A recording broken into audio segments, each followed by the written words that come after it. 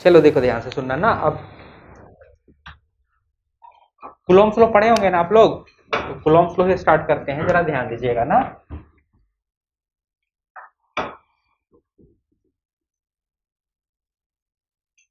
History में नहीं जाना है हम लोग को ना केवल समझना है क्या कहता है कुलोम फ्लो? देखो ध्यान से सुनना। कोई एक चार्ज पार्टिकल है मान लेते कोई एक चार्ज है। याद है ना? चार्ज कितने तरह का नेचर में एग्जिस्ट करता है बाबू? दो तरह का एक पॉजिटिव और दूसरा नेगेटिव पॉजिटिव किसको बोलते हैं? एक प्रोटॉन के चार्ज को यूनिट पॉजिटिव चार्ज माना गया और एक इलेक्ट्रॉन को चार्ज को यूनिट नेगेटिव चार्ज माना गया। कौन बताया ये बात? किसके द्वारा कन्वेंशन दिया गया? बेंजामिन फ्रैंकलिन ना? इसका कतई मीनिंग मत निकालना कि प्रोटॉन का चार्ज ज़्यादा होता है और इलेक्ट्रॉन का चार्ज कम होता है। बात समझ में आया ना? न्यूट्रॉन पे चार्ज होता है क्या? बात समझ में आता है।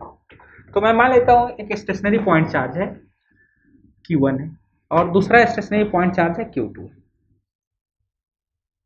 मैं रिपीट कर रहा हूँ फिर से this is what stationary point charge क्या है? स्टेशनरी पॉइंट चार्ज और ये भी क्या है? Stationary point charge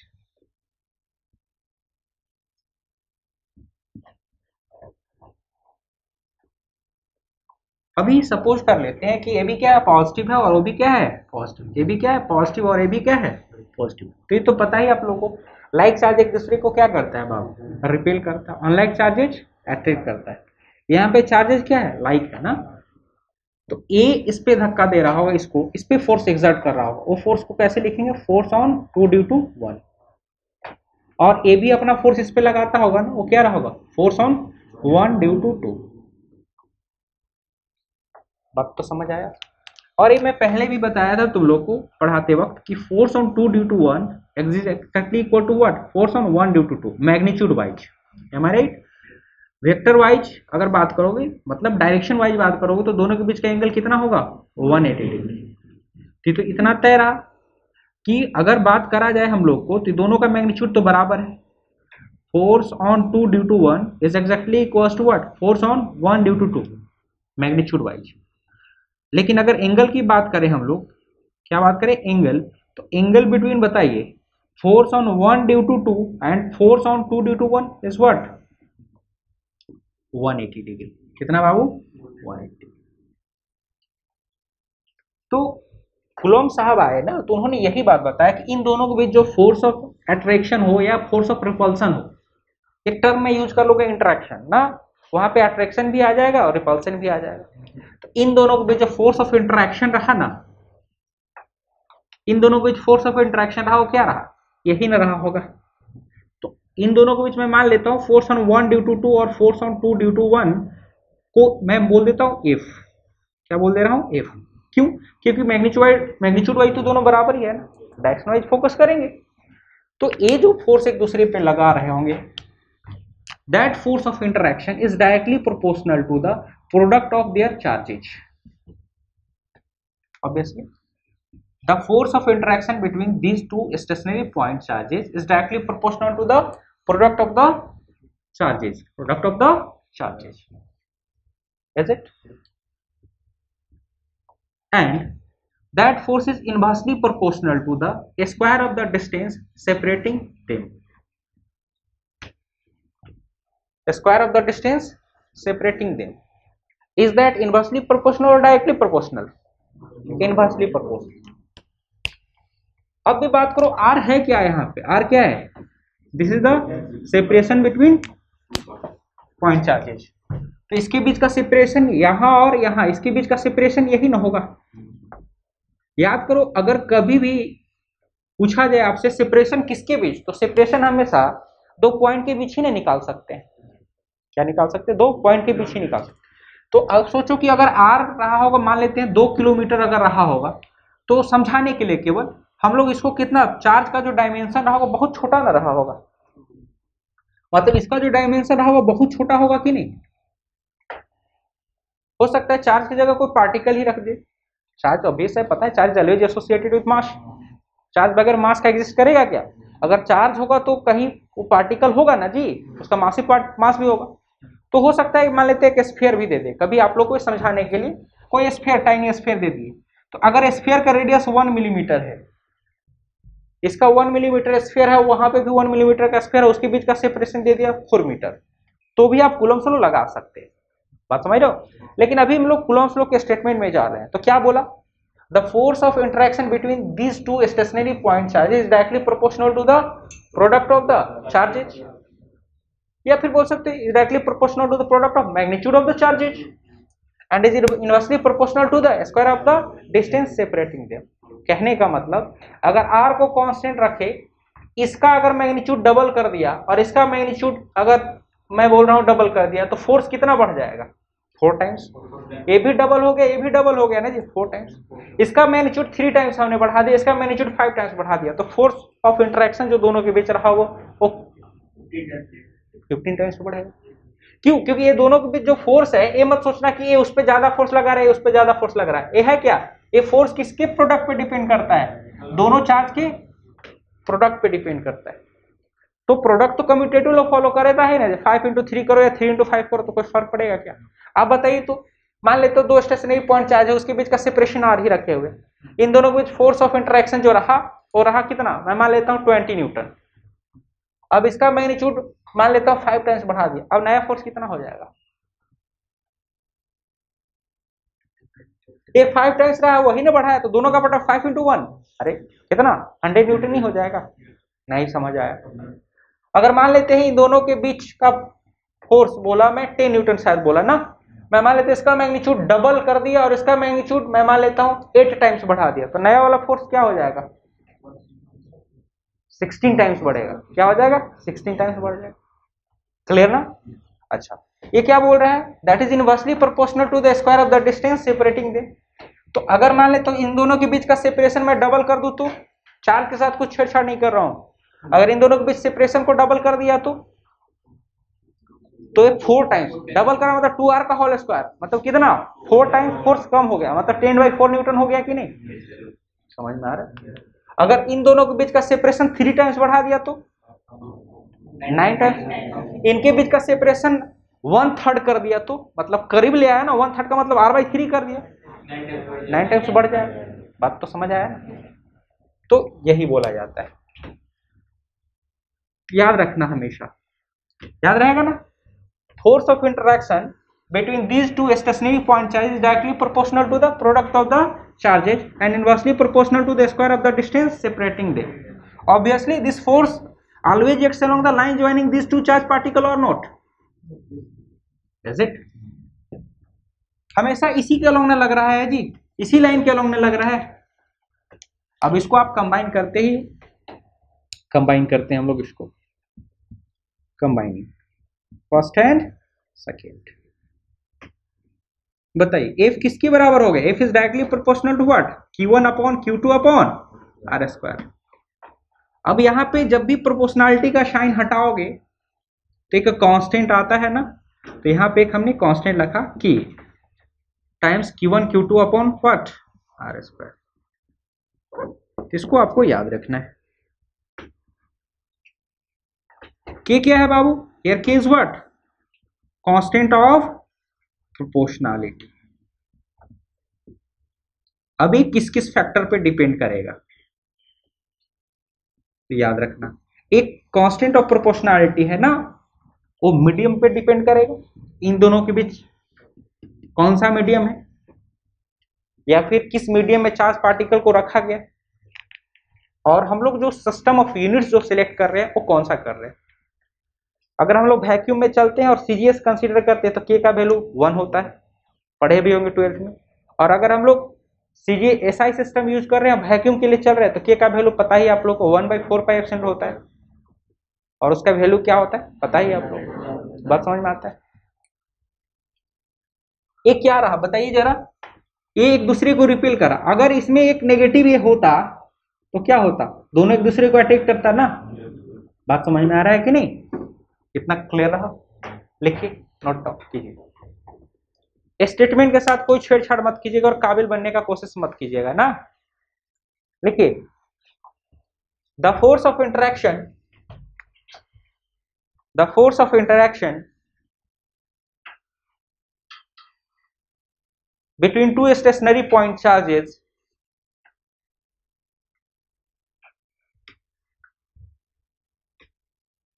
the force of interaction between two stationary point charges is directly proportional to is directly proportional to product of the charges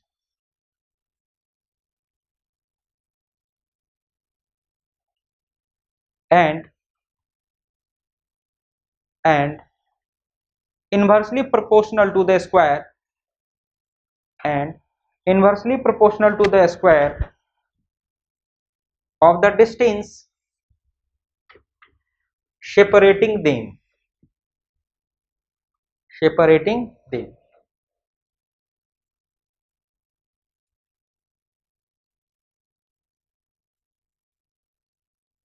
full stop एक line और note कर लेना this force always acts along the this force always acts along the this force always acts along the line joining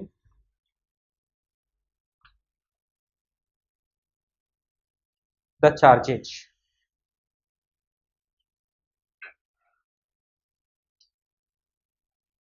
this force always acts along the line joining the charges is it याद रहा ना F किसके proportional रहा बात समझ में आता है यहाँ तक कॉपी कर लिया आप लोग आगे बढ़े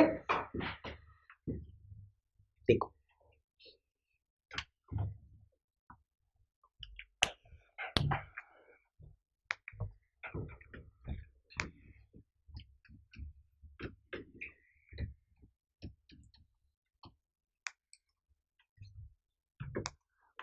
अब बताओ इफ़ हमारे पास क्या रहा बताइए बाबू? इफ़ जो रहा वो क्या रहा? That is what K into what Q one Q two upon R square K क्या रहा बताया मैंने आप लोग को? That is what constant of proportionality ये किस किस फैक्टर पर डिपेंड कर रहा है बाबू? सिस्टम ऑफ़ यूनिट्स जो सिलेक्ट कर रहे हैं और medium in which charge are placed is it अगर मैं मान लेता हूँ सीजीएस सिस्टम में रखा हमने, किस सिस्टम है बाबू? सीजीएस में इन सीजीएस फोर वैक्यूम किसके लिए बाबू? फोर वैक्यूम ईयर भी बोल सकते हो, समझ में आ रहा है ना? वैक्यूम और ईयर एक ही चीज़ है, उसमें कुछ खास अंतर नहीं होता है। के का वैल्यू कितना हो गया बाबू? वन तो अगर कोई बोले कभी भी कि एक क्या कुलम्स लो को रिप्रेजेंट करता है क्या तो हाँ रिप्रेजेंट करता है। बात समझ आया? हम लोग अभी केवल मैग्नीट्यूड वाइज देख रहे हैं ना? ये भी क्या है? Coulombs law but that is only for vacuum in serious system of units is it अच्छा। In SI system for vacuum K का वैल्यू कितना बाबू ये आप लोग पूरा रटाया जाता है अच्छे से। That is what one upon. Four pi epsilon naught is it और इसका वैल्यू भी आप लोग को पता होगा nine into ten to the power nine इतने बच्चे भी नहीं हो कि निकाल नहीं सकते हो। ये फोर्स है ना? और ये आर है। तो न्यूटन मीटर स्क्वायर हो गया ना जी? के का। तो न्यूटन मीटर स्क्वायर पर कुलम स्क्वायर हो गया क्या? न्यूटन मीटर स्क्वायर पर कुलम स्क्वायर कोई दिक्कत? अब यहाँ पे एक टर्म आ रहा है, जिसको बोलते हैं हम लोग epsilon naught this is what epsilon naught this is what permittivity of free space permittivity of free space is it absolute permittivity भी बोला जाता है, उससे कंफ्यूज मत होना। एब्सोल्यूट परमिटिविटी भी बोल सकते हो, ना? एब्सोल्यूट परमिटिविटी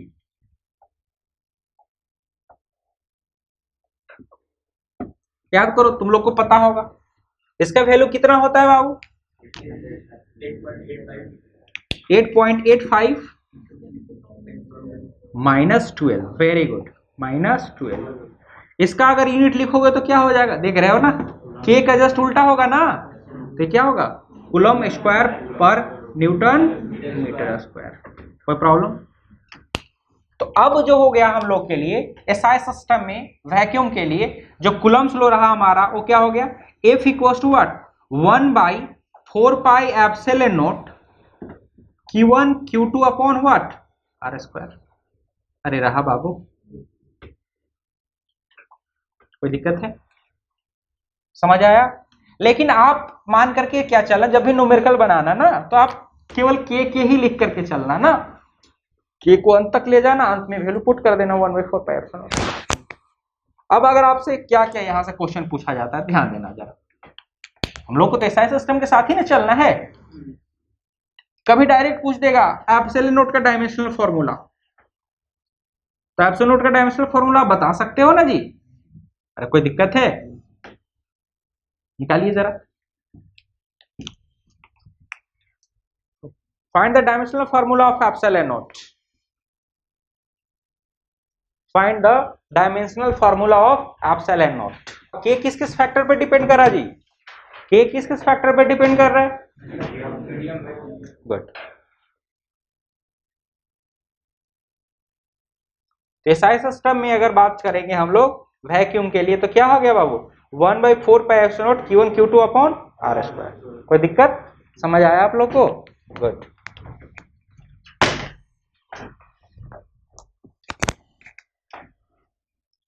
क्लियर है?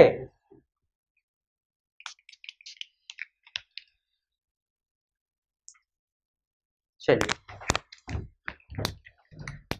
तो बात करा गया था dimensional formula of epsilon naught ना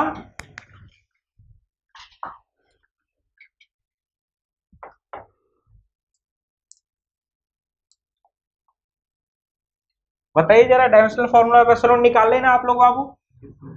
क्या हो गया? एप्सलेन नोट को अगर वैल्यू निकालना है एप्सलेन नोट का डायमेंशनल फॉर्मूला तो डायरेक्ट भी कर सकते यूनिट से चीटिंग मत करना। वो तो मैं अभी लिख दिया हूँ। आपको डायरेक्ट अगर दे दिया है तो क्या करोगे सबसे पहला? एप्सलोट किसके बराबर हो जाएगा अगर देखोगे तो यहाँ पे? One by four pi F one upon four pi F N two Q one Q two upon R square याद करो, मैं पहले भी बोला हूँ तुम लोग के फोर्स और एनर्जी का डायमेंशनल फॉर्मूला याद ही रखा करो, ना? फोर्स का डायमेंशनल फॉर्मूला तो पता है ना बाबू? One upon M L T minus two Q one Q two का A T into what A T हो गया ना? और इसका क्या? एल टू अरे लेंथ ही ना है। बताइए, क्या हो रहा है? देखो। एम माइनस वन हो गया क्या? और ऊपर गया ना? एल माइनस थ्री हो गया क्या? T minus sorry T plus three हो गया क्या? नहीं टी प्लस फोर हो गया ना? टू है ना? और ए वन हो गया। ए टू हो गया। ए डायमेंशनल फार्मूला हो गया। तो अगर कोई बोले डायमेंशनल फार्मूला आप एप्सल नोट तो एप्सल नोट का डायमेंशनल फार्मूला आप लिख लोगे ना। डायमेंशनल इक्वेशन तैयार है।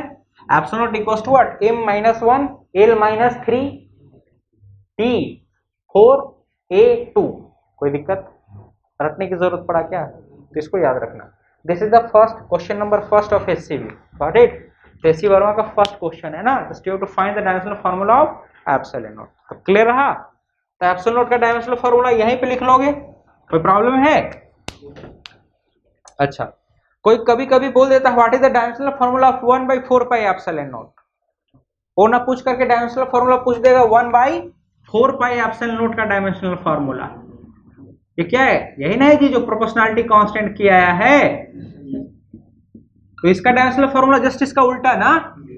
तो क्या हो जाएगा? एम वन अरे क्लियर है। L three T four minus four और ए माइनस टू। बात समझ में आया? कोई दिक्कत?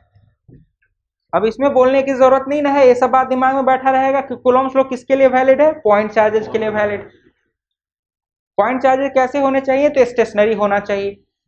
बात समझ में आ रहा है ना? ये डेफिनेशन में पहले ही लिखवा दिया गया है। क्लियर है? तो कभी कोई पूछे कि क्लोम्स लो क्या? हर तरह के बॉडी के लिए वैलिड है क्या? नहीं। पॉइंट चार्जेस के लिए वैलिड है। किसके लिए वैलिड है? पॉइंट चार्जेस चार्जेस मूविंग होना चाहिए क्या? आगे चल करके बताया जाएगा। लेकिन इतना याद रखना कि एक चार्ज ज़रूर है कि स्टेशनरी होना ही चाहिए। आगे चल करके चर्चा करूँगा और भी इसमें क्या हमेशा वैलिड है। इलेक्ट्रिक फ़ील्ड पढ़ाते वक्त। इलेक्ट्रिक फ़ील्ड पढ़ाते वाकई में इलेक्ट्रिक फ़ील्ड से ही आता है फोर्स का कंसेप्ट इसका डिस्कशन किया जाएगा उस वक्त। कि कुलम्स लो का लिमिटेशंस में उसको बताएँगे, ठीक है? बात तो समझ आया इतना? अभी केवल मैं समझा रहा हूँ जो चीज़ उसको समझिए, जो मतलब नॉलेज के लिए हो बाद में बात करेंगे। उससे कुछ एग्ज़ाम में क्वेश्चन पूछेगा नहीं, लेकिन फिर भी ज़रूरी है जानना, ना तो फ़ील्ड पढ़ाते वक्त इलेक्ट्रिक फ़ील्ड पढ़ाते वक्त मैं उसका चर्चा करूँगा ज़रूर। ये समझ आया आप लोगों को? तो आज के बाद आपके लिए क्या रहा? एसआई सिस्टम है। जब कुछ भी नहीं बोला गया तो एसआई सिस्टम के साथ ही ना चलना है आपके लिए। तो अब कुलम स्लो आपके लिए क्या हो गया पता चला आप लोगों को? कुलम स्लो आपके लिए क्या होगा हमेशा? याद रखना एफ़ इक्वस टू क्या? K Q one Q two upon R square F equals to what K Q one Q two upon R square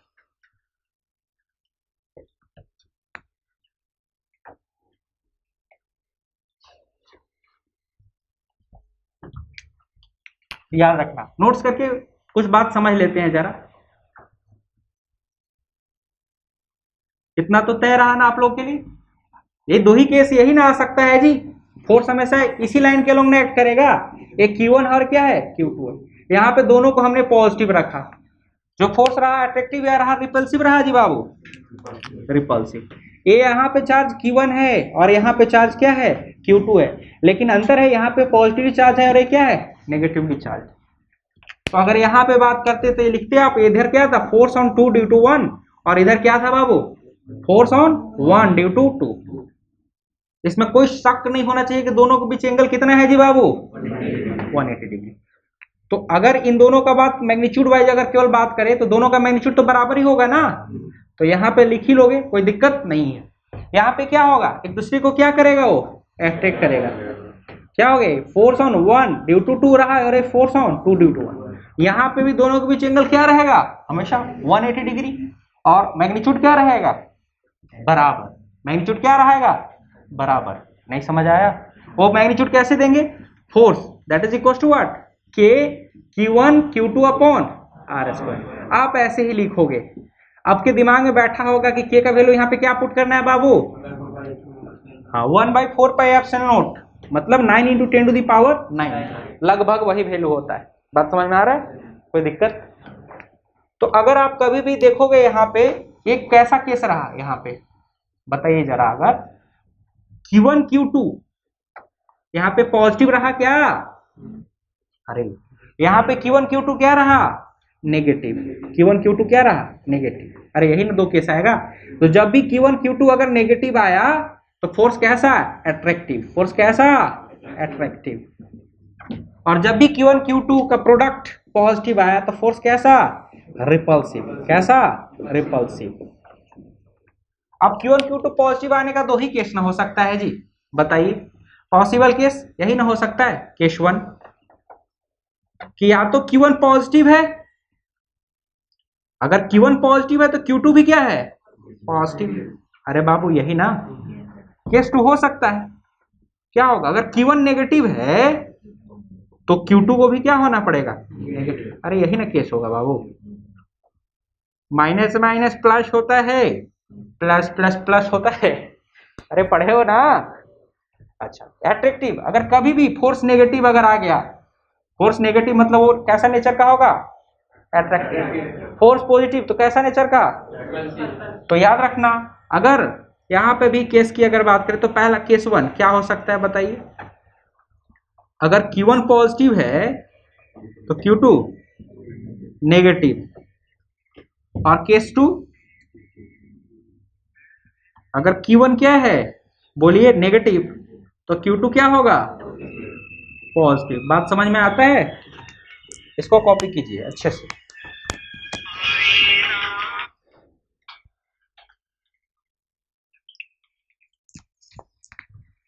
इसमें कोई दिक्कत? तो फोर्स का अट्रैक्टिव होना और फोर्स का रिपल्सिव होना, कैसे पता कर लोगे? अगर फोर्स यहाँ पे फोर्स कैसा है बाबू? फोर्स क्या है आपका यहाँ पे? पॉजिटिव या नेगेटिव फोर्स पॉजिटिव यहाँ पे फोर्स कैसा है? नेगेटिव या पॉजिटिव नेगेटिव क्यों बाबू? देखो के और आर स्क्वायर तो पॉजिटिव ही नहीं ढूंढो। के इज़ पॉजिटिव कांस्टेंट और स्क्वायर ऑफ़ एनी चीज़ स्क्वायर ऑफ़ एनी चीज़ इज़ पॉजिटिव लेकिन यहाँ तो डिस्टेंस ही है तो तो पॉजिटिव होगा ना? नहीं, समझ आया। तो याद रखना फोर्स पॉजिटिव इसका मतलब क्या पॉजिटिव है फोर्स पॉजिटिव होने का मतलब क्या रहा? चार्जेज लाइक रहे ना? फोर्स पॉजिटिव रहा, इसका मतलब क्या रहा? चार्जेज आर लाइक एकदम दिमाग में बैठा करके रखोगे सब। चार्जेज आर वॉट अगर हम लोग कुलोम स्लो की बात करें वेक्टर फॉर्म में। Coulomb's law इन वेक्टर फॉर्म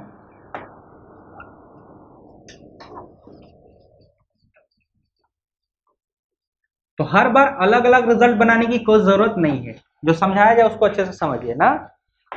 याद है आप लोगों को पोजिशन वेक्टर का मतलब तो पता है ना बाबू? पोजिशन वेक्टर का मतलब पता है ना आप लोगों को?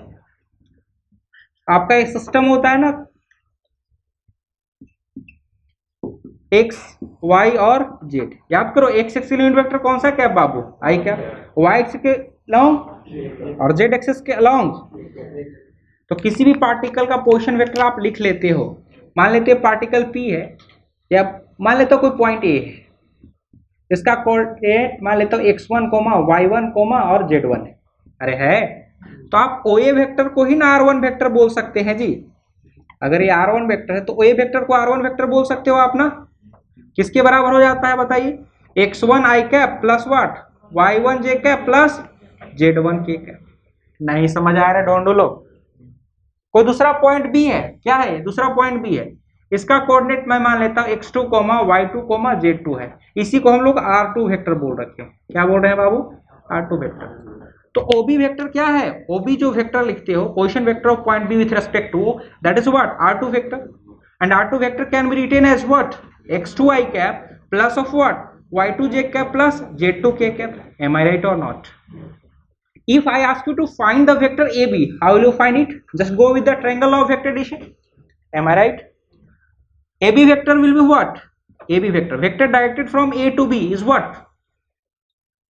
R2 minus r1 r2 minus r1 this is the displacement vector. Have i taught you or not? This one is first vector. R1 vector plus ab vector. Will that be equals to r2 vector? This is the triangle of vector addition. R1 vector plus of what? Ab vector. And that will be equals to what? R2 vector. So how will you find the ab vector by using triangle of vector addition r2 vector minus r1 vector. What about the r2 minus r1 vector? That will be what? X2 minus x1 i cap plus of what? Y2 minus y1 j cap plus of what? Z2 minus z1 k cap. Am i right or not?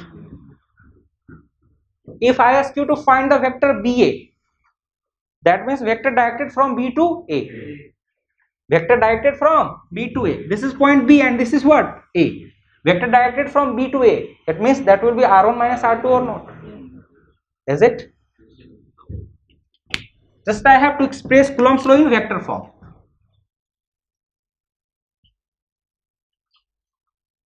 हमने system consider करा ए X है और क्या है Y है और ये क्या है बाबू जेड एक चार्ज पार्टिकल यहाँ पे अभी कुछ नहीं मान रहा हूँ इसका मतलब पॉजिटिव है एक चार्ज पार्टिकल कहाँ पे? यहाँ पे Q2 पे।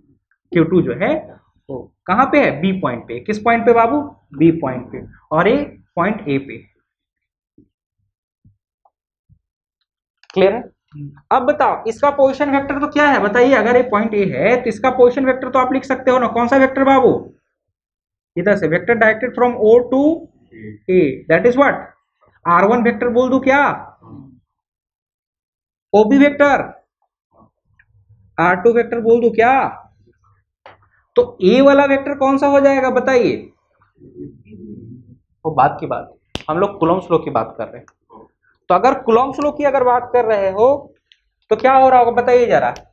दोनों पॉजिटिव है ना, बाबू? तो ए एक इसको रिपेल कर रहा होगा क्या? ए इसको रिपेल कर रहा है। जो फोर्स ऑफ़ इंटरेक्शन रहा, वो इसी लाइन के अलॉन्ग रहा होगा, बाबू। बात समझ रहे हो? तो क्या रहा? Force on two due to one या force on B due to A जो भी लिखना है, मैं यहाँ पे force on two due to one लिख रहा हूँ। मैं ऐसे ही बताया, इसलिए मैं ऐसे ही लिख रहा हूँ। कोई दिक्कत है क्या? और ए बताओ तो ये क्या रहा? That is what force on one due to two रहा या नहीं रहा? अब आप पे डिपेंड करता है, तुम लिखना क्या चाह रहे हो? तो याद करो, कभी भी, कोई भी अगर मैं मान लेता हूँ, कभी भी कोई वेक्टर क्वांटिटी को एक्सप्रेस करना है वेक्टर को रिप्रेजेंट करते हो तो इसके पास दो ही चीज़ ना होता है जी। एक तो मैग्नीट्यूड और दूसरा डायरेक्शन याद करो, एक स्पेशल टाइप ऑफ़ वेक्टर में पढ़ाया था आप लोग, उसको बोलते थे यूनिट वेक्टर यूनिट वेक्टर का काम ही है केवल मैग्नीट्यूड बताना, क्योंकि किसी के मैग्नीट्यूड को तो अल्टर कर नहीं सकता है किसी भी चीज़ में वन से मल्टीप्लाई होगा तो उसके मैग्नीट्यूड में कोई फ़र्क पड़ेगा, बाबू. अरे किसी के मैग्नीट्यूड में फ़र्क पड़ेगा वन से मल्टीप्लाई करने से. तो यूनिट वेक्टर आता है तो क्या करता है, उसके डायरेक्शन को स्पेसिफाई कर देता है. तो आप सोचो जरा, आप लिखना चाह रहे हैं। जैसे प्रिंस बाबू बोल रहे हैं कि मैं लिखना चाह रहा हूँ force on two due to one. अरे यही ना? अब बताओ force on two due to one लिखना चाह रहे हैं। पहले मैग्नीट्यूड लिख लो आप। मैग्नीट्यूड क्या है? K Q one Q two upon यही डिस्टेंस ना? ए बी का होल स्क्वायर है कि नहीं बाबू? अरे ए बी का होल स्क्वायर ना? ये क्या होगा? मैग्नीट्यूड हो गया। लेकिन डायरेक्शन किधर है? Force on two due to one इधर है ना? तो force on two due to one इधर है या नहीं है? और इधर ही ना है, और इधर ही ना है। तो force on two due to one है तो इसके लिए यूनिट वेक्टर लिख सकते हैं ना।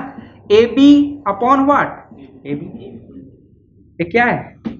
Unit vector along A B और not unit vector along vector A B और नॉट है कि नहीं? नहीं है? अब बताओ। एक के रहा, एक Q one Q two upon A B A B का हॉल क्यू हो गया क्या जी? और एक क्या ए बी वेक्टर नहीं रहा? बताइए force on two due to one है? तो आप इसको लिख सकते हैं क्या? Force on two due to one क्या हो गया बताइए? K Q one Q two A B vector लिखा हुआ है आपका ना? ए बी वेक्टर क्या है? R two minus R one vector और इसका अगर मैग्नीट्यूड की अगर बात करोगे तो इसका मैग्नीट्यूड क्या होगा बताइए? R two minus R one ही ना मैग्नीट्यूड होगा जी? तो R two minus R one का मैग्नीट्यूड का होल क्यूब ये वेक्टर नहीं हो गया। गौर कर रहे हो आप? अब ये बोलो कि सर आप जो रिज़ल्ट डिराइव किए हैं, क्या सबके लिए ट्रू है? हाँ सबके लिए ट्रू है। चार्जेस लाइक हो चार्ज अनलाइक हो, कुछ फ़र्क नहीं पड़ेगा। Provided charge is always placed with its respective sign is it जैसे समझना जरा, रटना नहीं, समझना जरा। आप force on two due to one पता चल गया आपको? तो force on one due to two करोगे तो क्या? ए तो मैग्नीट्यूड नहीं रहे बाबू। केवल यही ना चेंज होगा। जब force on two due to one लिख रहे तो R two minus R one लिखे आप। तो अगर आपको लिखना पड़ता force on one due to two तो आप तो इसको ऐसे ही छोड़ दो K Q one Q two upon क्या? R two minus R one का हॉल क्यू ही छोड़ दो। यहाँ पे केवल चेंज होगा, वो क्या हो जाएगा? R one minus R two अरे बात समझ में आया कि नहीं? तो आप केवल एक रिज़ल्ट ब्रेन में बैठा करके रखिए ये वाला। क्लियर है? कोई दिक्कत है क्या? कोई प्रॉब्लम है क्या? अब आप बोलते हैं कि अगर मैं मान लेता हूँ समझाने के लिए, इस पिक्चर को ही विजुअलाइज करो अच्छे से, लेकिन इस पिक्चर को विजुअलाइज करो, लेकिन अच्छे से। एकदम ऐसे नहीं कि बस हाँ में हाँ मिलाना है। तोता उड़ गया मैना भी उड़ा, हाथी को भी उड़ा देते हो। अगर मैं मान लेता इसको पॉजिटिव रख देता, और इसको क्या करता? नेगेटिव अरे करता। क्या होता? एट्रैक्टिव हो जाता कि नहीं? इधर ही ना आता ये वाला? अरे आता। आप बताओ, यहाँ पे Q1 माइनस होता कि नहीं? तो खुद ब खुद R one minus R two R two minus R one हो जाता कि नहीं? नहीं समझ आया। लेकिन आपको हमेशा इस रिज़ल्ट में Q1 और Q2 हमेशा साइन के साथ पुट करना है। अगर दोनों नेगेटिव रहता है या दोनों पॉजिटिव रहता तो ये रिज़ल्ट तो सही है ना? लेकिन अगर एक भी नेगेटिव रहता है ये नेगेटिव होता या ये नेगेटिव होता, जो जो भी निकालना आप आराम से निकाल सकते थे कि निकाल करके देखो, बताइए। अभी तो समझ में आ गया ना? अगर नेगेटिव ले लेते नेगेटिव ले लेते, क्या ले लेते? नेगेटिव ले लेते। तो नेगेटिव लेते तो क्या होता, बताइए जरा। केवल डायरेक्शन इसका जस्ट उल्टा ही ना हो रहा था जी। अरे डायरेक्शन इसका उल्टा ही हो रहा था ना। तो अगर ये माइनस साइन क्या क्यू वन क्यू टू का माइनस का कोई फ़र्क है क्या? वो जाकर के यहीं पे ना फ्रेम होता अपने आप को रखता। तो ये R two minus R one नहीं हो जाता। तो सही होता कि नहीं? तो हर मतलब याद रखना, अगर वेक्टर एक्सप्रेशन अगर तैयार किए हो आप तो उसमें अलग अलग चीज़ अलग अलग रिज़ल्ट नहीं याद रखना है आपको। बस आपको ये याद रखना है कि चार्जेस जब भी प्लेस करें वहाँ पे तो उसके साइन के साथ पुट करें। चार्जेस अगर नेगेटिव है, जैसे क्यू अगर नेगेटिव है तो माइनस फाइव कूलम रखना है तो माइनस फाइव कूलम रखेंगे। अगर चार्ज पॉजिटिव है तो फाइव कूलम रखेंगे। समझ में आ रहा है? हमेशा चार्ज को उसके साइन के साथ पुट करना। नेगेटिव चार्ज के पहले ज़रूर माइनस साइन लगाना पॉजिटिव चार्ज के पहले ज़रूर पॉजिटिव साइन लगाना। अगर कुछ नहीं लगाएगा तो पॉजिटिव है ही है। लेकिन ध्यान देना है कि अगर नेगेटिव चार्ज तो माइनस साइन याद करके पुट करना है आपको। बात समझ में आया? नहीं समझ आया। उदास है बाबू। रोता है रे। कॉपी करो। चार्ज को हमेशा साइन के साथ पुट करोगे ना? चलो, एक बताओ तो जरा। यहाँ पे एक चार्ज है एट माइक्रोकूलम का बाबू। और ये पॉइंट है three comma two comma one और ये पॉइंट है एग्जैक्ट नहीं है, लेकिन फिर भी यहाँ पे चार्ज है माइनस फोर माइक्रोकूलम का। और ये पॉइंट का कोऑर्डिनेट है, मान लेता हूँ two comma one comma six या टू कोमा वन कोमा ले लेता हूँ थ्री चलिए just find the coulomb flow in vector form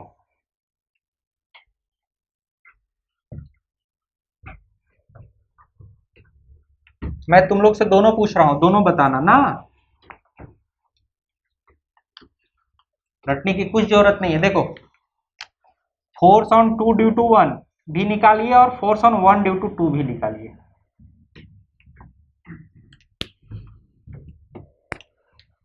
Force on one due to two निकल जाएगा बाबू। Force on one due to two निकाल लोगे ना? Force on two due to one का मतलब क्या? समझ में आ रहा? है force on two due to का मतलब वन का मतलब क्या?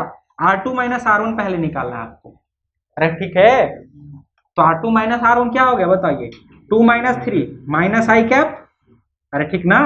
One minus two minus J cap देखो यहाँ पे टू माइनस थ्री कितना? Minus I cap one minus two minus J cap और three minus one plus two K cap हो गया? अच्छा के को तो के ही पुट करना है। के को क्या? K into nine into ten to power nine की वन कितना? Eight into ten to power minus six और ये माइनस फोर इंटू तो माइनस साइन यहाँ लगा दे रहा हूँ ना?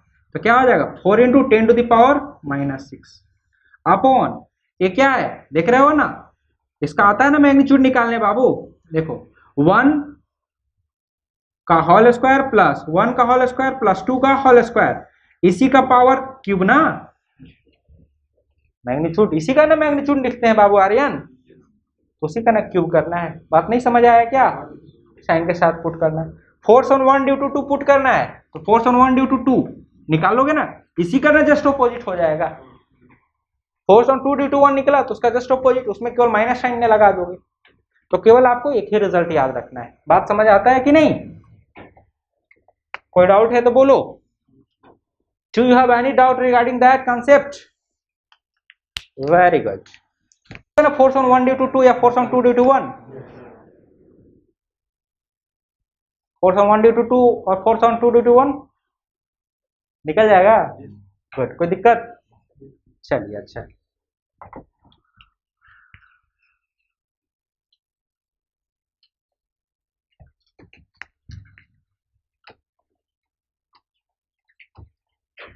तुम लोग का लेक्चर जैसे जैसे आगे बढ़ेगा, हर चीज़ समझाया जाएगा ना? लेकिन अभी जो बताया जा रहा है, उसको दिमाग में बैठा कर रखना।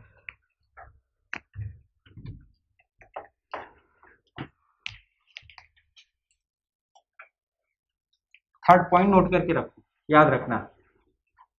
मैं मान लेता हूँ, एक सिस्टम कंसीडर करो system of two point charges separated at a certain distance am I right just I have considered it there are two stationary point charges which are separated at a certain distance by r is it this is the system of two point charges two stationary point charges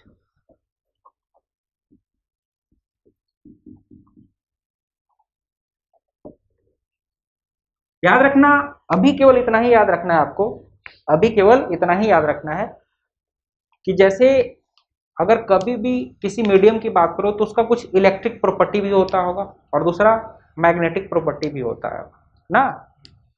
तो एक electrical property है dielectric constant इसका पूरा detail study चलेगा detail lecture चलेगा, इसमें कोई दिक्कत नहीं। तो याद रखना, किसी भी मटेरियल का, किसी भी मीडियम का एक इलेक्ट्रिकल प्रॉपर्टी है, जिसको हम बोलते हैं डाइलेक्ट्रिक ना? वो क्या है? वो अभी अभी भी समझ में आ जाएगा, समझाता हूँ तो ध्यान देना। इस सिस्टम ऑफ़ टू चार्जेस को हमने क्या किया? जैसे कहीं पे भी रखा, पहला केवल ईयर है। हालाँकि मीडियम जो है, ऐसा मत मानिएगा कि मीडियम जो है, वो क्या है क्लोज्ड है। मैं जिगजाग पाथ में मैं इसको दिखला देता हूँ, ताकि मीडियम मतलब बाउंडेड मीडियम नहीं है। जब जी मतलब ऐसा पाथ दिखला दे मतलब मीडियम मीडियम क्या है? बाउंडेड नहीं है। बाउंडेड नहीं लिमिट तक नहीं है। बहुत इन्फिनिटी तक गया हो ठीक है? लेकिन ये पूरा ईयर है। क्या है? ईयर है।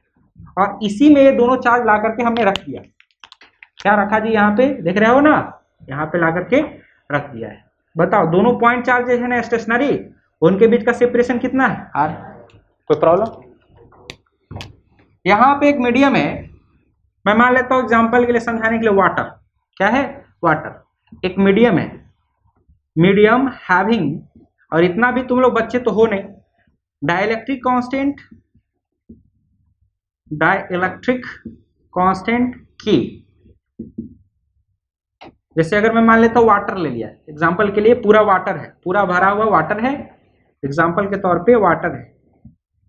इसका डायरेक्टिक कांस्टेंट ज़्यादा होता है ना, लगभग 81 के अप्रोक्स ठीक है? लगभग 81 के अप्रोक्स ना? चलो ठीक है। अब यही सिस्टम हमने यहाँ पे ला करके रखा। बताओ सिस्टम कैसा है? This is the system of stationary this is the system of two stationary point charges separated at a certain distance R is it this is Q one on this is Q two अब चारों तरफ़ क्या है? पानी ही पानी है। मतलब इन दोनों चार्ज के बीच क्या है? पानी है ना? अरे बोले तो वाटर ही ना है। बोले तो पानी ही ना है। बोले तो वाटर ही ना है। बोले तो पानी ही ना, जल ही ना है।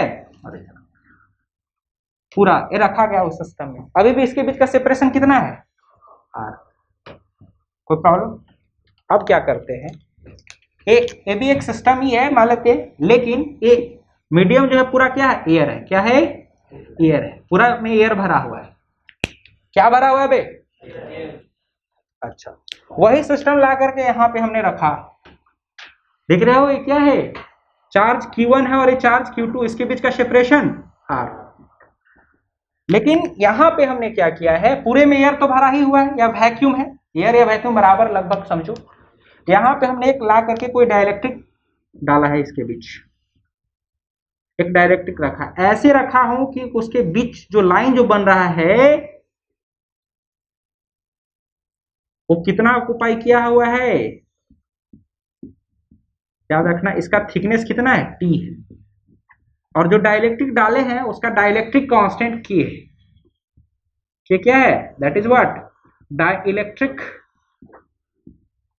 constant of dielectric dielectric constant of dielectric जो उसके बीच इंसर्ट करा गया है। तो बताओ, यही नहीं इंसर्ट किया गया है टी थिकनेस का जी। अब कितने जगह में खाली रहा होगा? आर माइनस टी में खाली रहा होगा कि नहीं? बात समझ में आ रहा है? कोई दिक्कत है? तो अभी ये दोनों चार्ज पार्टिकल एक दूसरे पे फोर्स लगा रहा होगा ना? ये तो वैक्यूम में है।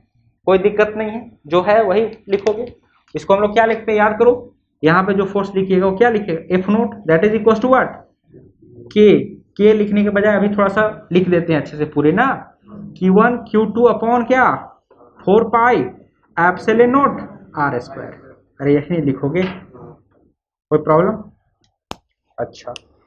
यहाँ पे पूरा क्या है?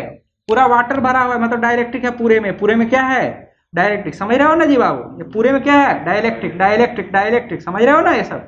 पूरे में डायरेक्ट्रिक भरा हुआ है। तो यहाँ जो फोर्स लिखिएगा, इसको मैं मीडियम लिख देता हूँ ना। मीडियम कोई भी मीडियम रहा। ये क्या हो जाएगा? Q one Q two upon four pi epsilon naught R square तो लिखिए। लेकिन ये जो है ना, यहाँ पे परमिटिविटी क्यों? इसके बीच कुछ नहीं था।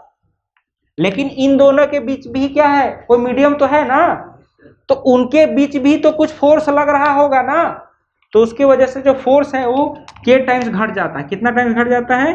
के टाइम्स घट जाता है।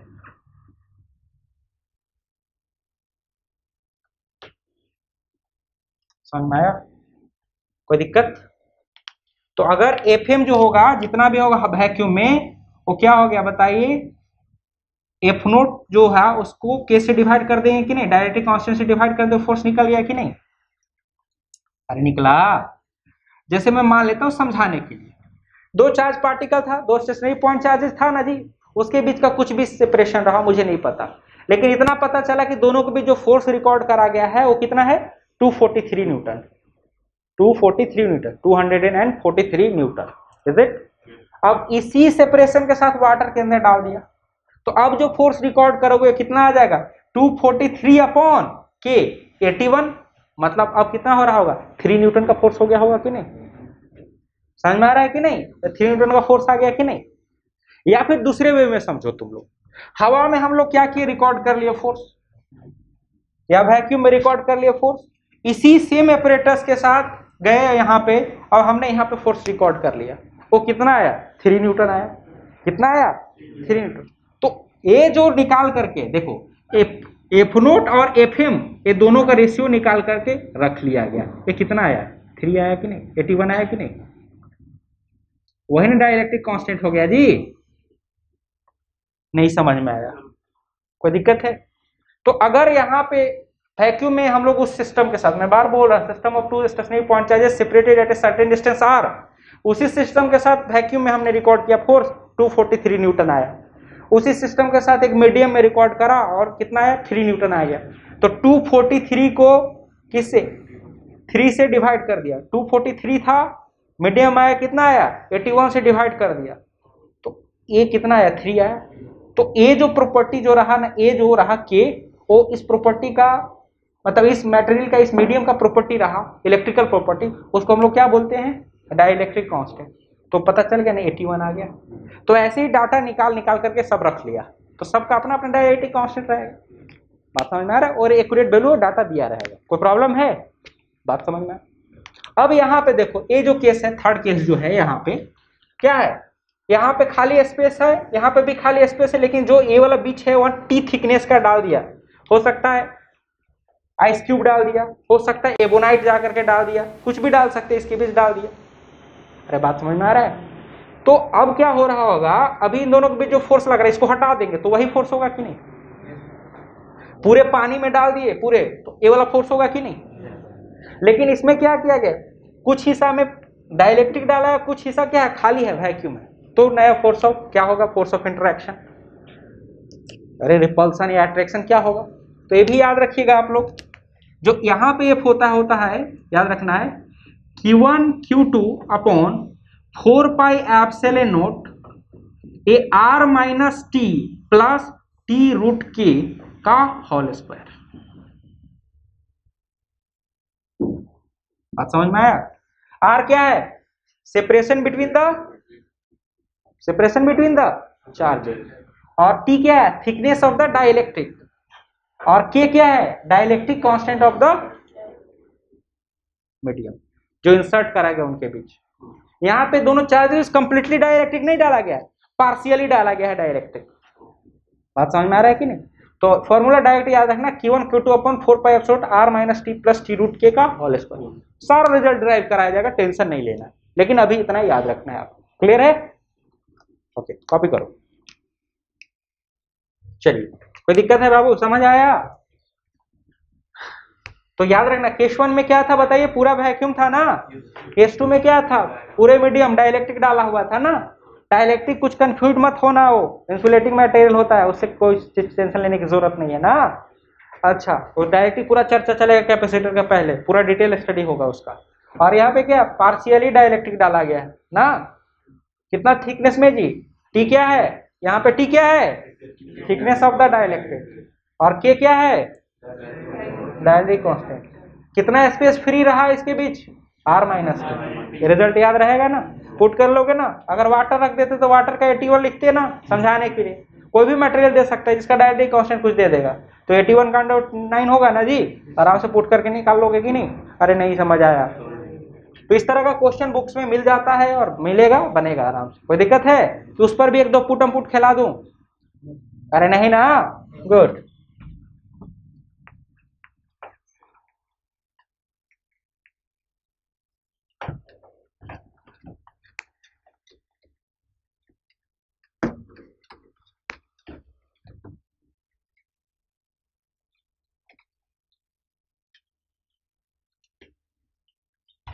कोई प्रॉब्लम बाबू लोग? समझ आया? ठीक। कितना पॉइंट लिखे बाबू? ये फिफ्थ है? ये फोर्थ बात समझ में आया ना? अब बताओ जरा। समझाने के लिए केवल एक चीज़ ले लेता हूँ। मैं मान लेता हूँ अगर एक मास है, यहाँ पे मान लेता हूँ टू माइक्रोग्राम का मास है, और यहाँ पे क्या है? मान लेते फोर माइक्रोग्राम का मास। क्या है? फोर माइक्रोग्राम का मास है। समझ में आ रहा है? अभी इसके बीच का डिस्टेंस जो है समझाने के लिए केवल एक चार्ज क्यू वन है और चार्ज क्या है?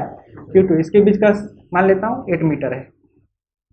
समझाने के लिए एट मिलीमीटर बोल देते हैं। क्या है? एट मिलीमीटर किसी स्टैंड पे देखा कि इसका जो है वेलोसिटी जो है, वो कितना है? फोर मीटर पर सेकंड से जा रहा है या four hundred metre per second से इधर जा रहा है। और किसका? जी वी टू तो आप वी वन पूछ देगा वी वन बताइए तो वी वन क्या होगा? तो याद करो कुलम्स लो जो है, वो एक्शन रिएक्शन पेयर है ना जी? अगर बात करा जाए यहाँ पे, ये दो स्टेशनरी चार्जेज है Q1 और एक Q2 है, इसके बीच का सेपरेशन आ रहा है तो force on one due to two इधर हुआ ना जी? Force on two due to one और इधर क्या हो? Force on one due to two net charge system पे क्या होता है? नेट फोर्स सिस्टम पे क्या होता है? If net on system of this two charge is zero और नॉट अब नेट फोर्स अगर ज़ीरो हो तो कंजर्वेशन ऑफ़ लीनियर मोमेंटम लगा सकते हैं कि नहीं रे बाबू? कंजर्वेशन ऑफ़ मोमेंटम लगेगा ना? अगर बात करे जाए इस सिस्टम पूरा एफ़ नेट जो है ऑन सिस्टम इज़ ज़ीरो और not F net on this system पूरा क्या है वो? ज़ीरो ही न है। कोई प्रॉब्लम तो कोई टफ बात हो गया क्या है बहुत बड़ा बात है क्या है अरे बड़ा बात है क्या? तो कंजर्वेशन ऑफ़ लीनियर मोमेंटम लगता है ना? अगर एफ़ एक्सटर्नल ज़ीरो हुआ उस डायरेक्शन में तो कंजर्वेशन ऑफ़ लीनियर मोमेंटम लगा सकते हैं। कोई दिक्कत है? तो आप लगा सकते हैं ना कंजर्वेशन ऑफ़ लीनियर मोमेंटम बाबू। तो क्या हो जाएगा बताइए?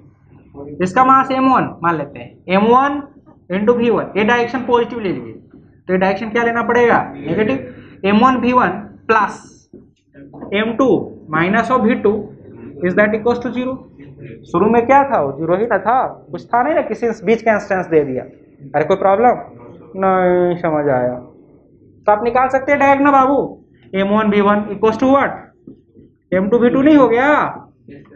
अब बताओ एम वन कितना? M one two microgram two into ten power क्यों लपटा लेना? ये भी माइक्रो है, उधर भी माइक्रो है। अरे इधर भी माइक्रो इधर भी माइक्रो क्या फ़र्क पड़ता है जी? वी टू कितना? एम वन वी टू हो गया एम वन वी वन ना? M one V one M one V निकालना है ना? एम टू कितना? और वी टू कितना? फोर हंड्रेड हो गया क्या? बताइए। अगर ऐसे लिखे हो, तब वेक्टर इक्वेशन हो गया वो। अगर वेक्टर इक्वेशन लिखे तो ऐसा ना होगा। एम वन भी वन इधर। सॉरी एम वन भी वन इधर।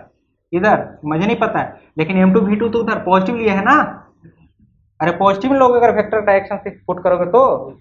लेकिन यहाँ पे फिर आकर मैग्नीट्यूड कर लिए, समझ में आया कि नहीं? M one V one equal to M two V two है। वेक्टर वाइज अगर डील कर रहे हो तो क्या होता है? एम वन वी वन तो वी वन किसके बराबर होता बाबू? वी वन जो होता है that is what M two upon M one और वी टू माइनस साइन के साथ आएगा कि नहीं? अरे यही ना, कोई दिक्कत है? मतलब ये उधर जाएगा तो इधर आएगा और क्या?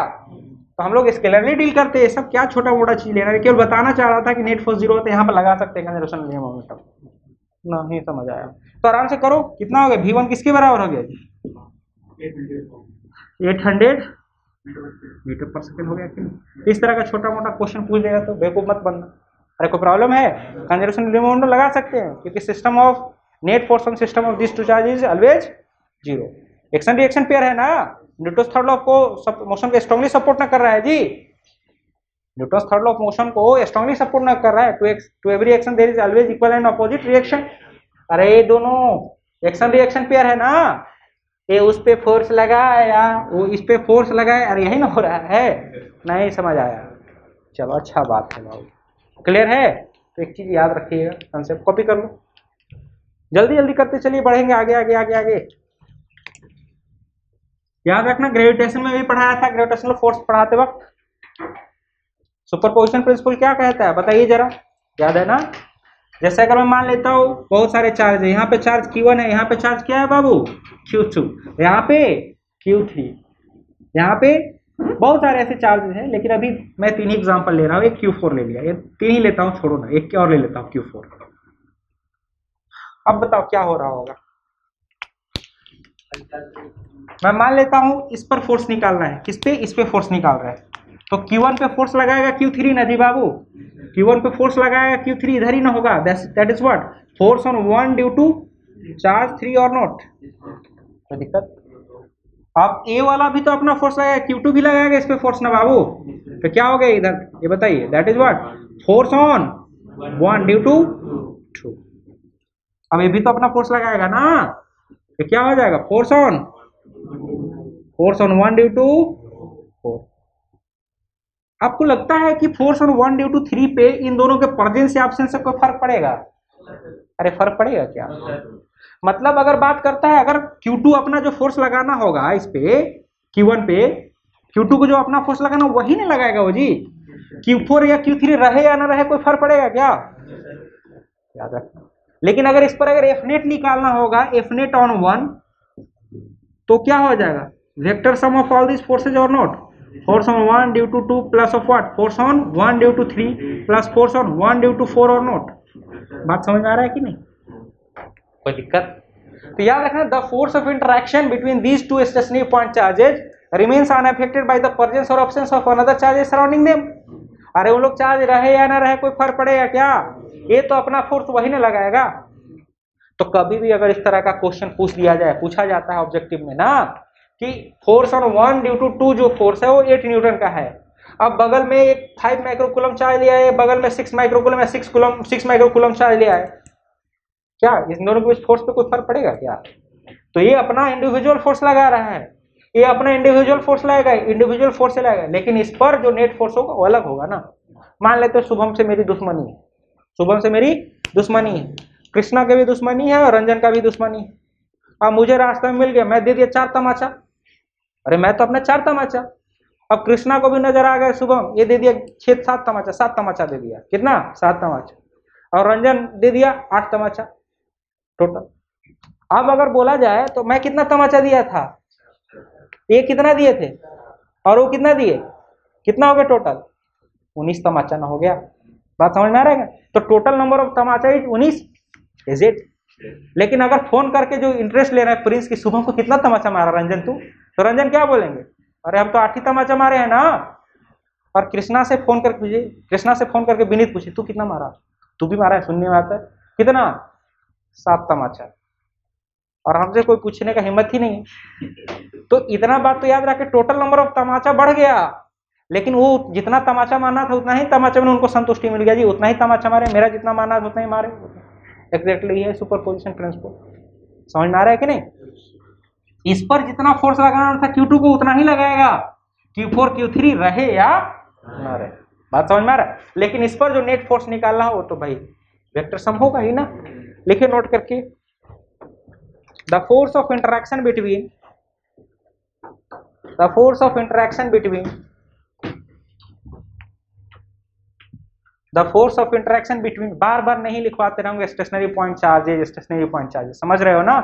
The force of interaction between charges between two charges the force of interaction between two charges remains unaffected remains unaffected remains unaffected by the by the presence or absence by the presence or absence of another charges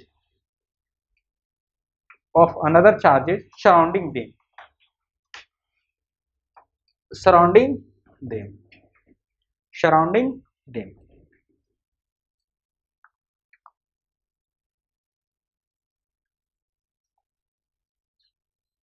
surrounding कोई problem जैसे example के तौर पे, तुम लोग तो अच्छा बच्चा हो भी, बहुत ही खतरनाक और बहुत ही अच्छे बच्चे हो। देखो, मैं मान लेता हूँ चार्ज इक्विलेटर ट्रेंगल जानते हो ना बाबू? इक्विलेटर ट्रेंगल पता है ना, हर साइड बराबर होगा। ये चार्ज क्यू है, यहाँ पे भी चार्ज क्यू है और यहाँ पे भी चार्ज क्या है? क्यू है। मैं मान लेता हूँ यहाँ पे चार्ज माइनस क्यू बोला कि नेट चार्ज इस पर बताओ, इसके बीच का लेंथ सेपरेशन एल है इसके बीच का सेपरेशन एल है ना इक्विलेटरल ट्रेंगल याद है ना? तो इसके बीच का सेपरेशन एल है, इसके बीच का भी सेपरेशन एल है इसके बीच का भी separation L in fact all these three charge are place at vertices of an equilateral triangle heavy side length L now I have to find the net force on the discharge on discharge it तो ए अपना force लगाएगा इस पे ना? वो इसी line के लोग ना लगाएगा जी। अटेक करेगा रिपेल करेगा? तो गलत डायरेक्शन हो गया। किधर गया? इधर गया कि नहीं गया? बताइए, कितना? फोर्स और नाम ही दे देते हैं। इसका नाम ए दे दिया, इसका नाम बी दे दिया और इसका नाम सी दे दिया। बताओ। Force on C force on C due to A अरे, यही ना है। तो कितना हो गया बताओ? K Q square by L square अरे स्केलर ये डील कर रहे हैं बाबू। डायरेक्शन तो दिखला दिया हो ना? नहीं समझ में आया। अब force on C due to B force on C due to B A इसको रिपेल करेगा। इधर या उधर? ये तो पता है ना coulombic force always acts along the line joining the charges और नॉट तो या तो इधर जाएगा या तो इधर जाएगा ना? तो इधर चला गया। बताओ कितना? Force on C D B कितना? के दोनों के बीच का सेपरेशन सॉरी प्रोडक्ट कितना? क्यू क्यू तो के क्यू स्क्वायर अपॉन क्या? एल स्क्वायर अरे इसका भी मैग्नीट्यूड एफ़ ही मान लेते इसका भी मैग्नीट्यूड एफ़ ही ना होगा। दोनों के बीच कितना एंगल कितना एंगल तो रिजल्टेंट बाइसेक्ट करता है बराबर हो जाता है कि नहीं? तो एफ़ नेट अगर लिखते तो डायरेक्ट लिख देंगे कि नहीं? क्योंकि दोनों के बीच याद है ना? तुम लोग को पढ़ा है ना? याद है ना? किसी भी दो वेक्टर को आप ऐड करते हो उसके उसका मैग्नीट्यूड अगर बराबर है उसके बीच का एंगल 120 डिग्री रह रहा है तो रिजल्टेंट उसी के बराबर होगा। पढ़ाया गया कि नहीं? इज़ इट तो क्या हो गया बताइए एफ़ नेट कितना हो जाएगा? एफ़ ही और कितना हो जाएगा? के क्यू स्क्वायर अपॉन ये तो एफ़ नेट न रहा जी। ये क्या रहा? एफ़ नेट न रहा। ये क्या रहा? एफ़ नेट रहा। लेकिन ए अपना इस पर फोर्स लगाया कि नहीं? ए रहता या नहीं रहता तो भी उतना ही ना फोर्स होता। Force on C due to B alter होता क्या? ए रहे या ना रहे कोई बात बनता है। ए रहे या ना रहे कोई फ़र्क पड़ेगा। अच्छा। Force on C due to A वही ना होता। ए रहता। ये सॉरी ए रहता या ना रहता? बात तो वही होता ना। मैं फिर से रिपीट कर रहा हूँ। Force on C due to B A के न रहने या न रहने से कोई फ़र्क पड़ेगा क्या? Force on C due to A B के रहने या न रहने से कोई फ़र्क पड़ेगा क्या? अरे वही ना होगा। बाद बाकी तो अलग चीज़ है वो वेक्टर एडिशन का कमाल, वो सब तो देखेंगे हर तरह का न्यूमेरिकल बात समझ में आया? सुपर पोजिशन प्रिंसिपल क्लियर है? कोई दिक्कत? कॉपी तो याद रखना कुलॉम्स लो कुलॉम्स लो में बहुत तरह का क्वेश्चन चलेगा, हर तरह का क्वेश्चन रहता है ना? ठीक है? एक कुलॉम्स लो से रिलेटेड और भी बातें होंगी, लेकिन बहुत सारा प्रॉब्लम कर लेते हैं इस पर उसके बाद अंत में इसका लिमिटेशन भी बताऊँगा। और कुलम्स फ्लो के कुछ क्या क्या, कहाँ कहाँ, कैसे यूज़ होता है सारा चीज़ चर्चा करा जाएगा ना। कुलम्स फ्लो ऐसा नहीं कि हमेशा वैलिड होता है, ना। कुलम्स फ्लो के भी कुछ लिमिटेशंस हैं ना। इसके भी कुछ ड्रॉबैक्स हैं। क्लियर है? तो चर्चा करा जाएगा। ठीक है? अब तुम लोग का केवल इस पे तो और भी बहुत सारे कंसेप्ट बताने ही हैं। कुछ क्वेश्चंस मैं देता हूँ। केवल सोचने के लिए। और सारे क्वेश्चंस मतलब कह सकते हो, बहुत छोटा छोटा होगा ना, बस कंसेप्चुअल रहेगा। मैं देखता हूँ कितने लोग सोच पाते हैं। लिखिए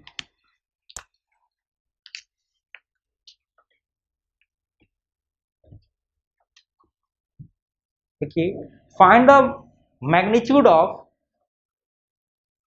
find the on a good find the magnitude of minimum possible force of interaction. Find the magnitude of minimum possible force of interaction between two stationary charges between two stationary charges separated by a distance of 1 meter separated by a distance of 1 meter separated by a distance of 1 meter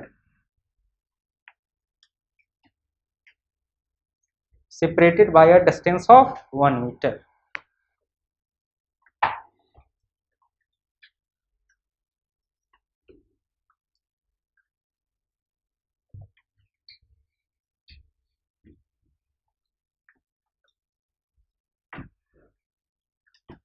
हो गया बाबू विनीत कितना?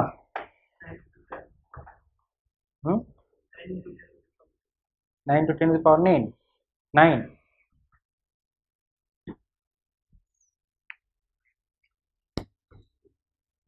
देखो, ध्यान देना, सुनो ध्यान से।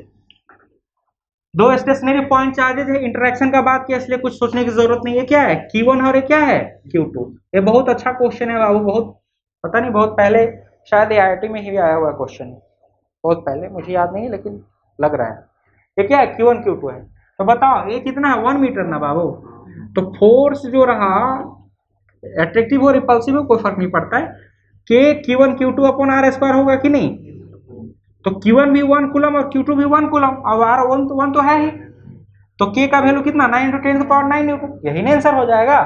तो इससे बहियात और घटिया चीज़ कुछ सोच नहीं सकते आप। याद करो minimum possible value of charges electronic charge. One coulomb charge तो बहुत बड़ा हो जाता है जी। सबसे मिनिमम चार्ज जो होता है क्यू का मिनिमम वैल्यू जो है that is charge of electron and charge of proton that is what 1.6 point six into ten to the power minus nineteen coulomb. इससे छोटा चार्ज एग्जिस्ट करेगा क्या? अब तक हम लोग फिजिक्स में। अलग चीज़ है क्वेक्स वगैरह का चर्चा तो नहीं करना है अभी ना। तो सबसे मिनिमम यही ना होगा जी। तो प्रोडक्ट मिनिमम होने के लिए क्या? वही ना होगा। तो के का वैल्यू कितना? Nine into ten to the power nine सही है?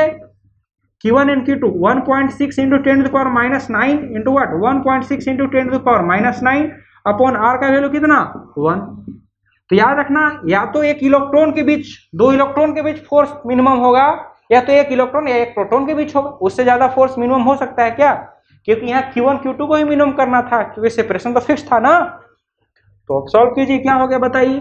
1.6 1.6 2.56 इनटू कितना? 9 मैट्रिक सिस्टम को डील करो।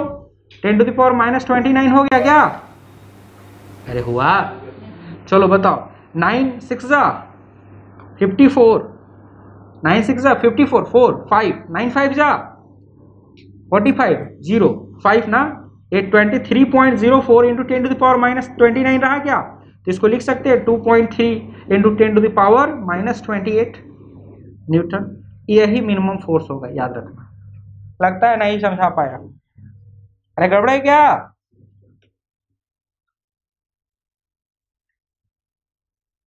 समझ आया? तो आपको याद रखना है हमेशा minimum possible value of charge is what electronic charge is it उससे छोटा चार्ज एग्जिस्ट कर सकता है क्या? एक कूलम चार्ज तो बहुत बड़ा चार्ज हो गया ना जी, ओ। एक कूलम चार्ज में कितना इलेक्ट्रॉन आ रहा था, याद है ना? मैं बताया था ना कितना आ रहा था? 6.25 point two five into ten power eighteen बात समझ में आ रहा है कि नहीं? चलो, ठीक है? देखिए next question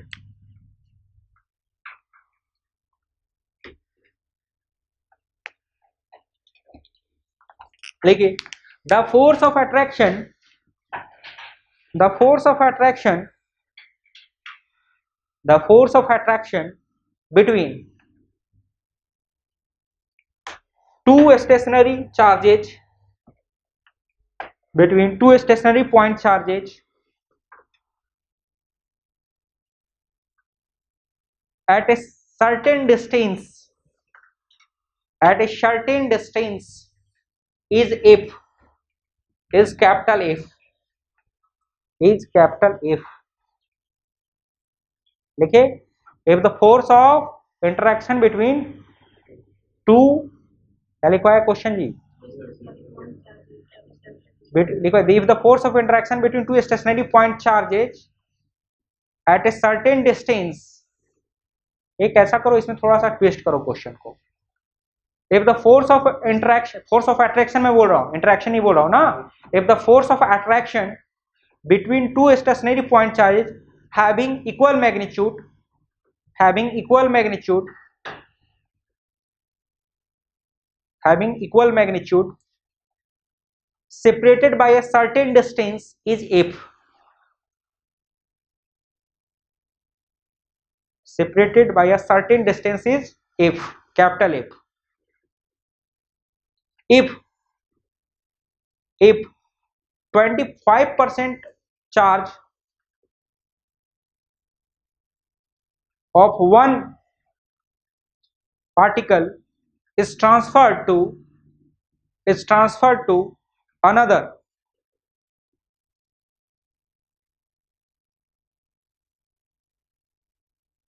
Another without disturbing the system. Without disturbing the system.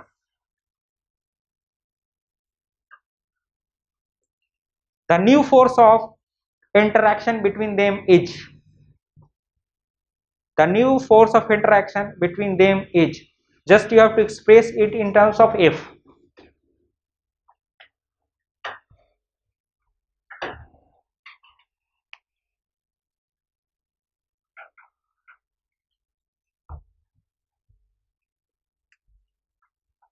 Should i have this babu look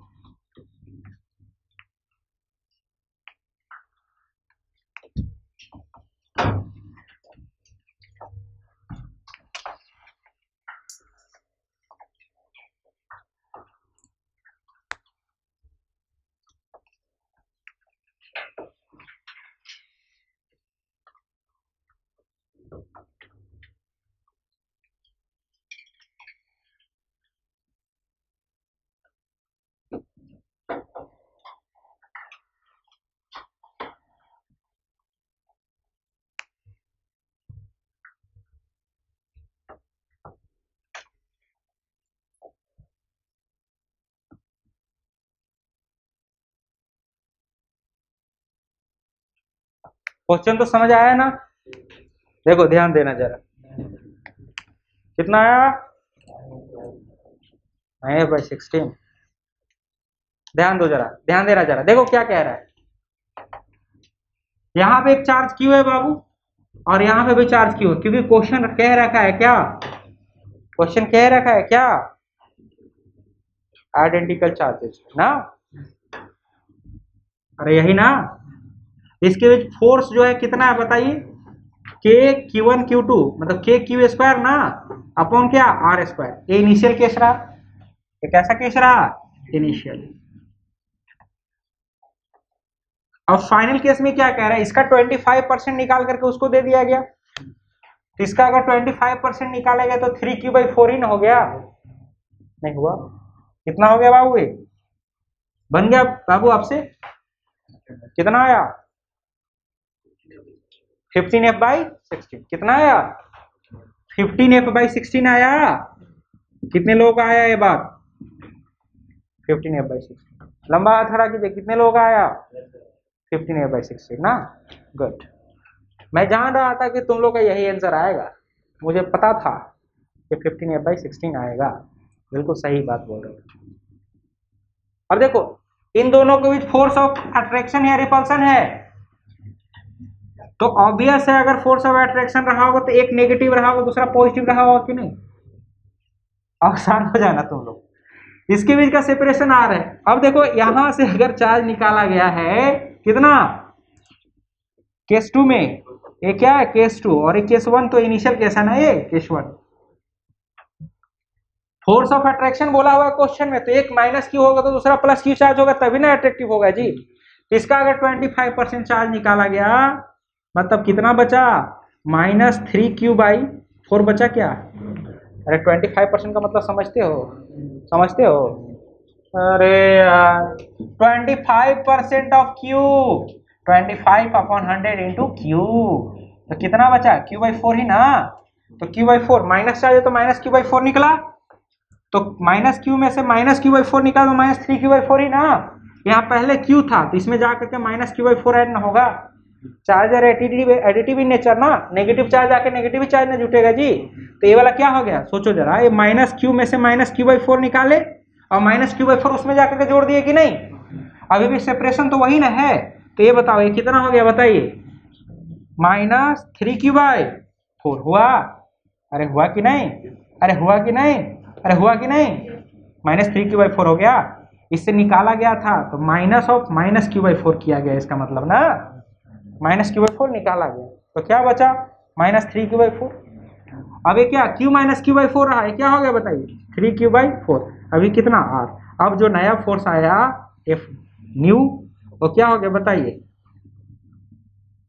K nine Q square by sixteen रहा क्या? समझ में आया? तो बताइए, एफ़ न्यू जो रहा, वो क्या हो गया बताइए? के बाई सिक्सटीन मतलब K Q square nine by sixteen K Q square by R square के बराबर। यही ना रहा? ये क्यू क्यू स्क्वायर बाई क्या है? एफ़ ओल्ड है। तो एफ़ न्यू जो रहा, वो नाइन बाई सिक्सटीन एफ़ रहा या नहीं रहा? बात समझ में आप लोग की गलती नहीं है, बहुत लोगों का आ जाता है वही। क्या वही? फिफ्टीन वाला। यहाँ से क्यू निकालता है प्लस क्यू रखता है। तो Q minus Q by four three Q by four वहाँ जाकर के जोड़ देता है। तो Q plus Q by four हो जाता है। वो क्या? फाइव क्यू बाई फोर हो जाता है। तो अभी से फिफ्टीन आएगा तो गलत है। एक एक छोटा छोटा टर्म पे ध्यान देना है। यहाँ पे कौन क्वेश्चन को ब्यूटिफाई कर दिया जी? Force of attraction force of attraction force of attraction कहा इसका मतलब ये नेगेटिव चार्ज रहा हो तो क्या रहा होगा? पॉजिटिव रहा होगा। बात समझ में आया? अगर अब इसी क्वेश्चन को बोल देता फोर्स ऑफ़ रिपल्सन तो जो आप क्वेश्चन था वो सही था आप लोग का? नहीं समझ आया? है ना स्टॉप राइट नाउ आज इतना ही।